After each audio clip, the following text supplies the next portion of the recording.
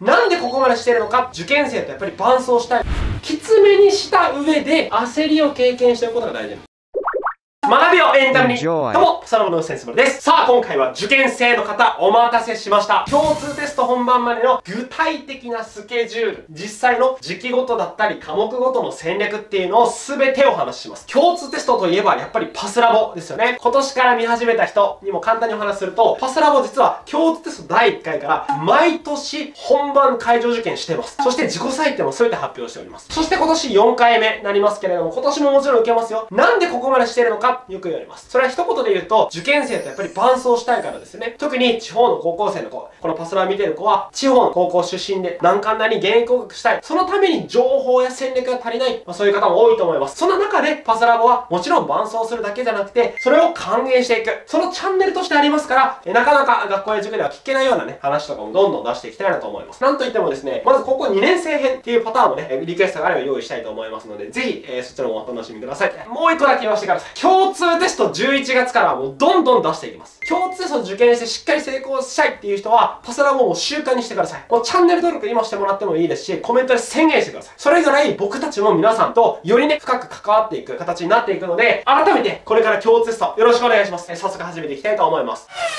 さあ、まず、ステップ1、ゴールからの逆算スケジュールをチェック。大事にしてほしいのは、共通テストっていうのが、ちゃんと解像度高く見えてますかっていうことです。前提として、はい、日付1月13日、10日ですよ。もう今ね、この辺りですけれども、70日を切りました。ただ、ほとんどの人が、危機感感じれないよね。共通テストやるか、重い腰を上げるか、ぐらいの人が多いんだけれども、共通テスト特に医学部とか受ける人聞いてください。しっかりと本番で80%、85%、もっと言うと9割取りたいよって人、大体ね、この辺りの成績と、この辺りの成績、しっかり戦略立ててる人って10%以上上がります。例えば今、ぶっちゃけ60点ぐらいですよっていう人が本番75%取ったり、もっと言うと今75ぐらいの人が本番で87%取ったり、えそういったこと本当に起きます。一方で、しっかりと対策しないと、え72%が74%で終わりました。こういうパターンもありますからね。しっかりと共通テストで結果を出す。皆さんの思っている以上に結果を出すためにも、まず逆算しませんか？本番がここであるんですけれども、まず3つ確認しましょう。はい、1つ目、えー、現在ね、え、特に難関大受けるよって人は、大学別模試受けてると思います。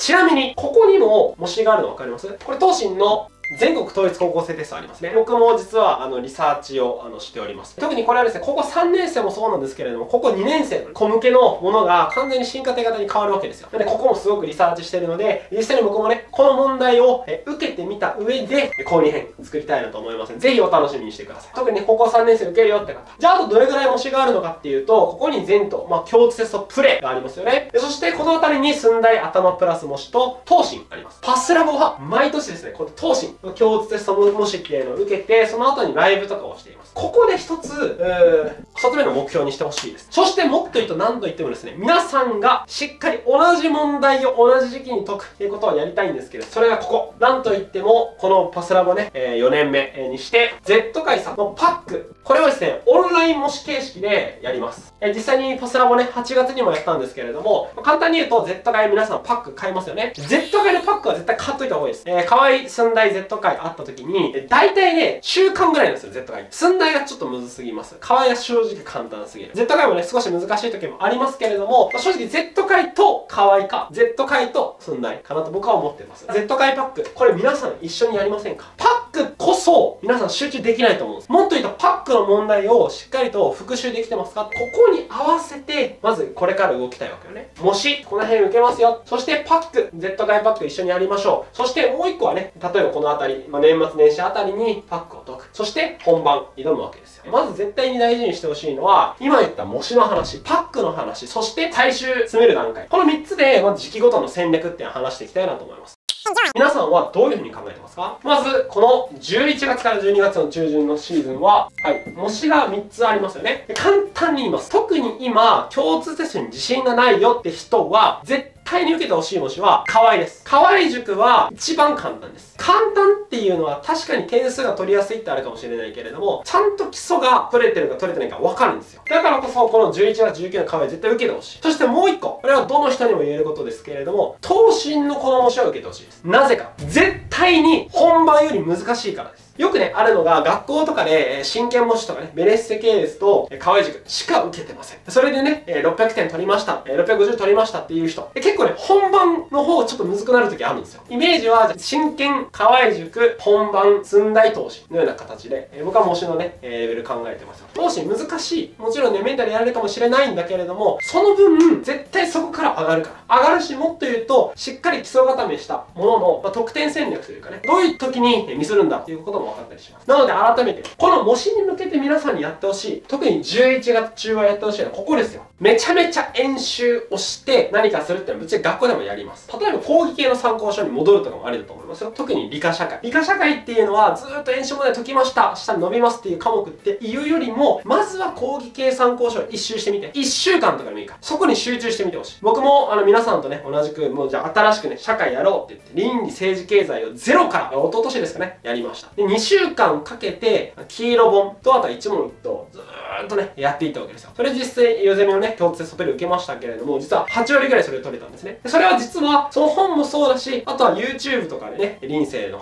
えー、講義とか聞いたりとか、いろんな基礎確認っていうところあったら、大体ですね、6、70%、まあよくて80%ぐらい取れるようになります。その代わり集中する必要があるわけね。改めて言いますよ。演習を先にどんどんしましょうっていうよりも、特に今6、70%ぐらいの人は、ちゃんと基礎確認、広域系の参考書でいいから、それを見ながら、どんどん演習をしてほしいなと思います。じゃあ何が起きるかっていうと、やっぱり伸びしろがね、ある科目っていうのが、どんどんどんどん伸びていくわけです。これが楽しい。これのモチベーションっていうのがあるからこそ、他の伸びしろが少ないような科目にもちゃんとね、時間当てられるわけですよ。これまず大事。そしてもう一個大事にしてほしいのは、得点戦略です。これ何かっていうと、もちろん後でね、時間戦略の話をしますが、得点戦略っていうのは、時間っていうのが、例えばじゃあ70分スイッチありますが、75分、80分、ちょっと時間オーバーしてもいいから、それだったら90%取れるよね。そういう風にして、しっかりとまず得点の最大化っていうのをしてみてください。得点の最大化をするのが、この11月中です。時間が時間がっていうのは、後で何とでもなるから、まずは得点の最大化できるかどうか考える。それができてるのでれば、ここ、移りましょう。時間戦略です。時間戦略っていうのは、まあ、決められた時間内で解くのではなくて、決められた時間のより5分短く、10分短くっていう、ちょっときつめにしてください。きつめにした上で何点取れるのかっていう練習が、数学とか英語とか国語はこれできると思いますよ。5分でいいから。5分でいいからちょっと短くしてやってみて。したら何が起こる？いくら家でやってたとしても焦ります。その焦りを経験しておくことが大事なんです。5分短くなったた時に何点ぐらい取れるのかな。そしてその上で結構おすすめなのが、早く解く。早く解こう解こう。時間ないから解こう解こうとしてると、何がいけるかっていうと、自己流のミス。これ見つかるんですよ。これすごく面白いのが、例えば数学ね、計算とかはミスしない。そういう人はまあもちろんいますけれども、計算ミスとかだけじゃないんですよ。意外とミスするのは、例えば、正の整数って書いてあるのに、その正のってのを忘れたり。あとは、0以上のって書いてあるのに、0を忘れたりとか。本当にしょうもないミスとかあるんですよ。けれども、意外とね、やるミスってパターン限られてます。あの、僕も実はこれメモするようにしてるんですけれども、時間ちょっと短く、タイトにしてやっていくとミスがわかりますよ。このミスって本番でもやらかすから。もっと言うと、自分の自宅でいる時に演習する時こそやってほしい。この2つ、得点の最大化っていうところと、時間をタイトにした上でやってる。この練習を必ずやるようにしてください。で、じゃあ具体的にどうすればいいのっていう人、安心してほしい。これからパスラボは、毎週共通テストに近いものって出していきます。こういうスケジュール系もね。だから、ついてきて。また詳しく話するから。12月とかにね。だからこそ、まず11月は、こう、基礎確認とか伸びしろがある科目に集中してほしい。そして、12月、模試が終わりました。まあ、このパックのね、あたり。さっき言いましたけれども、基本おすすめは Z 回と基礎があやふやだっていう人は可愛い。逆にある程度ね、協定はもう80%取れて90%目指したいよって人は済んだい。Z 回かける可愛いか Z 回かける済んだいをもうおすすめします。まあ2個以上は僕のことおすすめします。今の言った話をすると。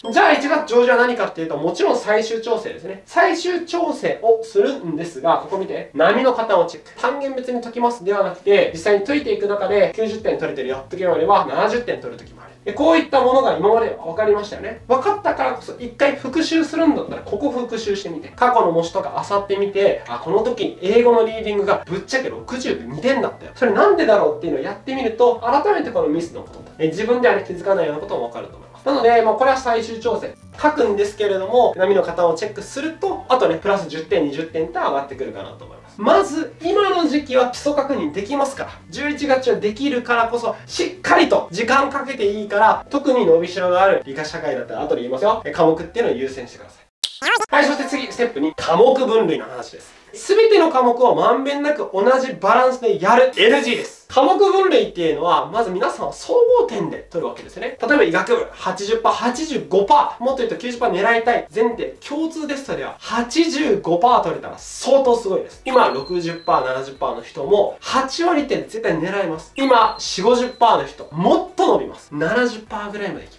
しっかりとこの11月対策したら、今どういう状況である人も70%ないしは80%っていうところまでいきます。10%以上伸びますよ。どこで伸ばすのかっていうのがまさに優先順位の問題なんです。伸びしろがある科目と伸びしろがぶっちゃけない科目があります。それって何なの？ってなった時に、この2つに分けてください。コツコツ型と伸びしろ型です。これをね、理解するだけじゃなくて、ルーティーンにしてほしいんです。例えばコツコツ型、分かりやすいのは、毎日触れておいてほしい科目です。毎日触れておくことで、この波がね、普通の人だったらあるんだけれども、この波が上で安定するようになりますよと。80%、90%ぐらいで安定しますよと。じゃあ何なの？はい、まず1つ目。あ、リスニングです。英語のリスニング。おすすめとしては、センターの過去問でもいいですが、共通テストの模試とか問題集の過去問、絶対に質問に入れといてください。もうすぐ聞けるようにしてほしい。もっと言うと、アプリとか入れたら、倍速でね、聞けるとかもできます。大体ね、1.25倍聞くことをお勧めします。1.25倍で聞いて、しっかり理解できるか、シャドウイングできるか、そういったことを練習しておいてください。本当に1日15分でいい。1日15分でいいからやってみて。今日から。今日からやってみてほしい。英語のリスニング。本当に紙とペンいらないからね。できれば1.25倍で聞けるかと。そして2番目、コツコツ型。これは何かっていうと、まあ英語系なんだよね。英語のリーディングに関しては、区切っていいです。1、第1問から第6問で全部やるとかではなくて、自分のおすすめ。はい、もし30分、40分時間があるのなら、大問1から3をまるっと解く練習してください。その逆で4から6を40分ってパターンも大丈夫です。そうやってやるか、もし本当に15分とかしかなかったんだったら、大問1個選んでそれをすぐ言う癖をつけてほしい。苦にならない方がいいですよ。やらされてる感はない方がいい。だからこそ、英語のリーディングディングっていうのは、できれば終わったら音読をして、自分でね、アウトプットしましょう。ずっと読むだけだと意味がないからアウトプットして、わからない単語、表現があったら単語帳に戻って、どんどん二次試験のためのストックっていうのを貯めてほしいなと思って。そしてコツコツ型。最後は何かっていうと、まあ、数学ですね。現代文のパターンもあります。どちらかというと数学ですね。数学に関しては、この言うと波があった時に、今のうちからコツコツね、本当に単元別です、これは。例えば今回は、じゃあ確率を解こうと。でもいいので、そういったものをやってみてください。センター試験の過去問でもいいんですよ。基礎チェックになります。できるだけ数学を解く癖。もっと言うと、できるだけ時間をタイトにするんですね。できる人は。それでやってみてください。これは本当に15分に30分、30分。大体1時間ちょいぐらいはね、毎日やってみてほしいなと思います。で、それに加えて伸びしろ型って何かっていうと、しっかりと、例えば1週間とかね、えー、2週間、時間かければ確実に8割とか9割狙えますよっていう科目。さあ、まず一番分かりやすいのは、これ誰でもできるのはこれ。漢文です。漢文は、例えば早覚え即答法とか、漢文山の山、何でもいいんですけれども、1週間騙されたと思って漢文やってみて、1日何十時間ってやる必要ないよ。漢文っていうところは、覚えることも少ないし、出るパターンって決まってます。もちろん、句法だけ覚えたら満点取れるって時代ではないんですけれども、句法をしっかり覚えて、ある程度単語とかも覚えて、それで解ける問題ってすぐわかります。早く解けるようになります。その上で解けない問題にちゃんと時間をかけれる。そして解けない問題っていうのも文章の対比関係とか、オチからの逆算、いろいろ考えるとわかるんですよね。だからまず漢文。これは、えー、特にまだちゃんとね、やれてないので、早めにやっといてください。模試とかあるから。2番目。えー、それが皆さんおなじみの文系の理科基礎、えー、理系の社会。例えばよく言うのが、まあ、この辺からね、1ヶ月直前詰めればいいんでしょって人いますが、僕お勧めしてないです。詰める時期はここよ。なんでかっていうと、しっかり詰めた上で模試を受けてほしい。模試を受けて、いよいよかーと思って1ヶ月間ね、やるっていうよりは、ある程度詰める経験をして、例えば7割、8割とか取っておいてください。その上でこの辺でいろいろ戦略立てて、調整して、本番9割取ります。例えば僕、わかりやすい話、倫理政治経済ね、0からやりました。本番何点取れたかっていうと、97です。その次、2くら取れた。91です。9割は絶対超えれるよっていうことは分かりました。94ですね。で、それってじゃあどこかっていうと、この辺りでちゃんとめちゃめちゃやってるわけです。めちゃめちゃやって、だいたい70%と8%取るようになりました。ックの段階では85%とか80から85。よくて90けど、もともと97取ったことないですよ。けれども、ここのね、最終調整で正直理科基礎とか社会をね、詰める方法僕知ってます。これはちょっとお楽しみにしておく。またね、別の動画で話すんですけれども、今の段階は2週間、1週間かけていいから、しっかりやってみて。この時間数とか言い。次3番目。この伸びしろ型、どれですかっていうと、皆さんどれだと思いますか？まあ、英語ね、リスング、リーディング、数学、そして漢文、理科基礎、社会。あとどれ？それが僕はここで出てくるのも数学なんです。これどういうことかっていうと、コツコツ型っていうのは1日10分15分測ってやりましょうって話でしたけれども、ある程度自分の中でこの単元弱いなっていうのがあると思います。それをどうしてほしいかっていうと、これは単元別に絶対解いて。特に一番の後ろがあるのはデータの分析です。データの分析、例えば騙されたと思って5回分とか解いてみて。共通テストね、実践問題集引っ張ってきて。例えば英語ですけれども、Z 会さんのね、でもいいと思いますよ。えー、そういったものっていうのを5回分やってみて。したらどうなるかっていうと、ある程度パターンが見えてくるんですよ。えそしてその上で過去に解いたもしまた持ってきて、またパターン分かります。数学に関しては単元別でやるっていうのは結構伸びしろ。50%ぐらい取れるけど、それを80%、90%にしたいな。もっと言うと満点取りたいな。もっと言うと、時間をコンパクトにして点数を最大化したい。パターンは数学の単元別はね、あります。1日何時間集中型ってあるんですけれども、僕のイメージね、は4から8時間です。コツコツ型っていうのは大体ね、マックスでこれ今1時間ちょいって話をしましたけれども、本当にこの1週間は漢文をやりたいよって言うんだったら、2時間をいくつとかじゃなくて、漢文に4時間と、もっとね8時間ぐらい当ててください。僕、社会の時にやったのはもう1日8時間かけね、5とかやってましたよ。もちろん、現実的に難しい、あるかもしれませんけど、学校の時間とか、そういうのも利用しながら、隙間時間ね、利用しながら進めてみてください。こういったところっていうのを1週間続けて。最低4時間。最低4時間を作ってみてください。特に土日だったら8時間ぐらい使えるんじゃないかな。そうやってコツコツ型と伸びしろ型っていうところでだんだんそれぞれ点数が上がってくるわけ。で、これをやった上で何をしてほしいかというと、これ、一番大事なルーティン化なわけですよ。明日何やろう、明後日何やろうっていうのが、これとこれがあることで決まるわけよね。コツコツ型はルーティン化されてるわけですよ。どんどんどんどんデータも溜まってミスのパターンも見えてくる。伸びしろ型っていうのは、ある程度リスキーかもしれませんけれども、本当にその科目しかないなと思って全力尽くしてください。全力尽くした上で、模試とかパックとか受けてほしいんです。そしてもっと言うと、前日ルーティン。これ結構大事ですよ。特に共通本番思い出してみて。前日に何するの？この1週間何するの？この値を決めといて。例えば模試の前日、社会に関してあえて全振りしてみようと。したらどうなるかで知識創生されるわけですね。逆に、数学とか英語に関しては別にもね、前日に読む人はないなと思ったらやらなくて。ただここに書いてないのは現代文とか古文ですね。現代文古文。あ、ちょっといなと思ったらこっちに入れていいですよ。単元別に解きたいんだったらね。あれで慣れたらこっちですけれども、えー、じゃあ前日に一旦ね現代文とか古文読む習慣をつけよう。何でもいいので自分で前日のルーティンの確固たるものを作ってください。こういったことっていうのをまず前提自分の中で決めた上でもう11月上旬から GO してみて。まあもしありますよと。一番大事なのはこの空白期間だから。この空白期間が赤のイメージ。赤のイメージ。3週間とかある。まだまだあるじゃんとかじゃないからね、えー、まだまだないから。ないからこそ一日一日を大事にしてほしい。そして皆さんパスラボで一緒に合わせていくのはここ Z 界のパックを解きます。パックを解いたこの感想とかもすぐその場で言うしパックを解いた後共テ本番にどういうすればいいのかってこのライブで全て話します。だからこそ一緒に参加しよう。Z 界パックあって一緒にやるから。その中で、えー、細かい質問とかしてもらってもいいし何か不安なことあったらライブで相談してほしいです。一緒に伴走しましょう、えー、このミスのパターン。僕のミスパターンっていうのを実はまとめたものがあるんでそのあたりもね提供できればなと思ってます。はい、そして最終調整をします。